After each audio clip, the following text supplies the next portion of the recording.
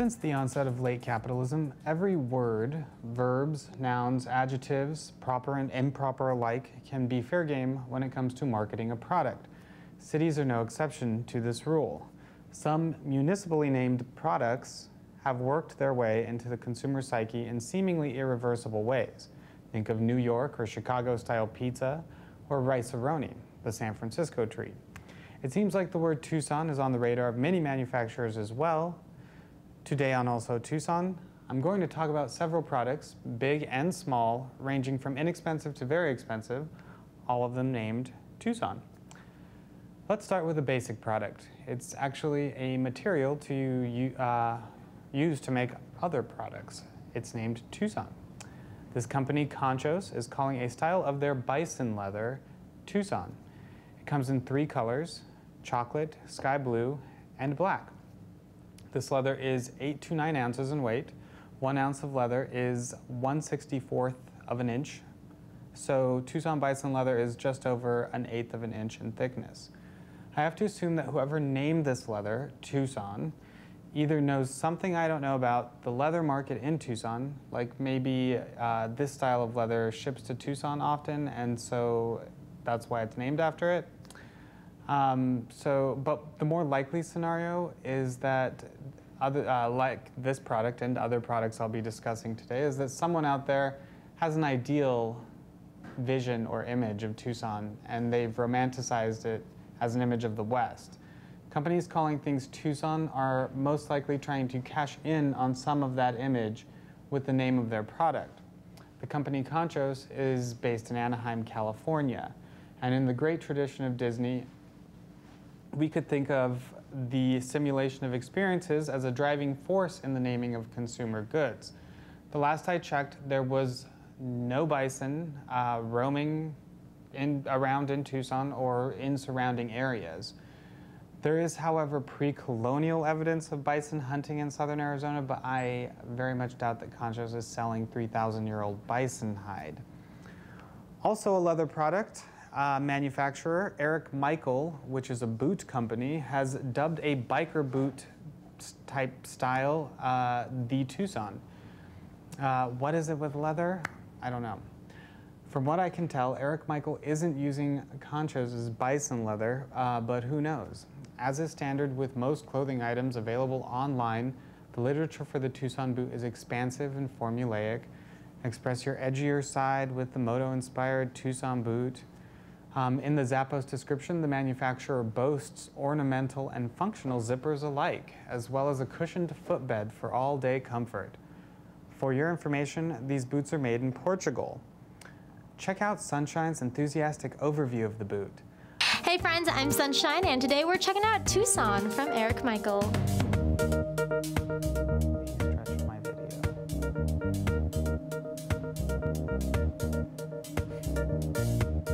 thank you this boot features rich leather uppers with a bit of a slouch to it so that way you kind of get that comfy and relaxed look.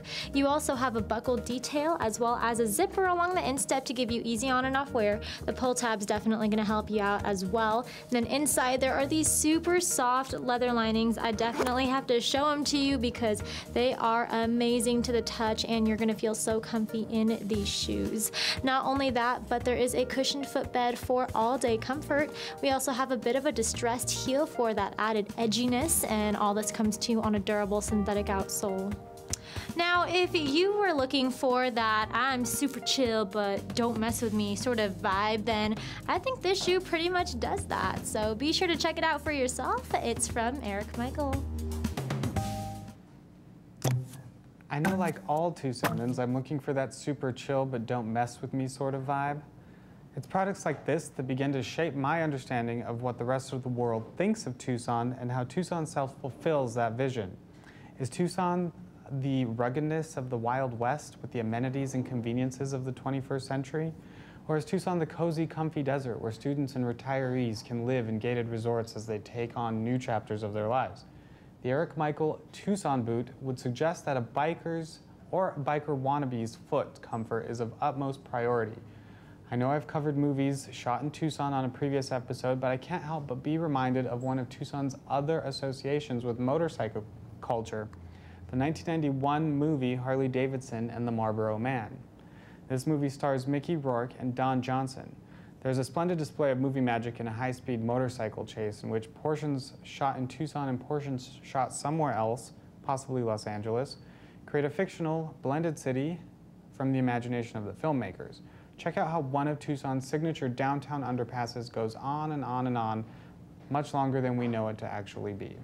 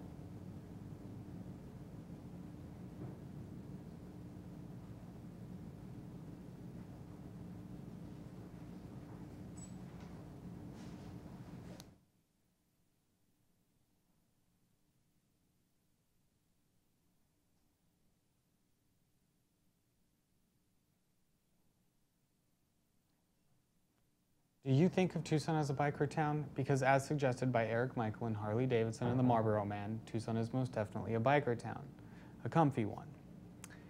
So here is a ring I could see a biker wearing. This ring uh, can be purchased at weddingbandshq.com. I've noticed a huge trend in these dark metal titanium or tungsten or ceramic wedding bands for men. It must be all of that durability at a significantly reduced price when compared to platinum, gold, or even silver. This ring is named, you guessed it, the Tucson, which is really disturbing because it features an inlay of koa wood, which is Hawaiian and used to make surfboards. Wedding Bands HQ describes koa wood as possibly the most spectacular hardwood in the world and describes the ring as an innovative design that gives ring, this ring a rugged, manly feel which matches all styles and dress. The flexibility of this ring obviously went to the manufacturer's head, causing them to be so flexible that naming a ring made of Hawaiian wood after a completely unrelated Arizona town did not raise any concerns. When you actually Google Tucson ring, a bunch of, uh, there are a bunch more of these rings in similar designs, all recklessly named Tucson, of course. Keeping with the theme of wearables, Organic Cottoneer Prana has a versatile pant called the Tucson Pant. Five pockets and a slimmer fit gives the durable Tucson pant style for the long miles. Designed in our best-selling Bronson fabric, this rugged organic cotton canvas material has been enhanced with stretch for easy wear and even easier movement. What's more, the Tucson is also fair trade certified the title of the product is Tucson spelled correctly, but when they repeatedly and charmingly misspell Tucson in the description, swapping the C and the S in the age-old spelling faux pas. Uh, whoever wrote this description is clearly not that familiar with our city. Who can say why this California-based company has named their pants the Tucson pants? From a statement on the Prana website, Prana's sustainability policies explicitly prohibit human trafficking and slavery. Our policies, procedures, and operations are also designed to address many other social and environmental sustainability issues. They also claim that they engage in verification of supply chains to evaluate and address risks of human trafficking and slavery. If people from New York are cold and people from LA are superficial, what are people from Tucson? I have a friend who proposed a theory that people from Tucson are characteristically at one with the universe. This could also feed the notion that people from Tucson are one with the planet.